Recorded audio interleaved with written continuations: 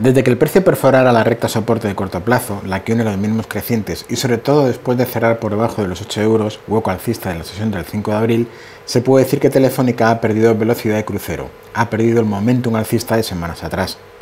Técnicamente, lo único a lo que agarrarnos es a la posibilidad de que el nivel de los aproximadamente 780-785, ajuste retroceso del 61,8% de todas las subidas de mínimos anuales, aguante.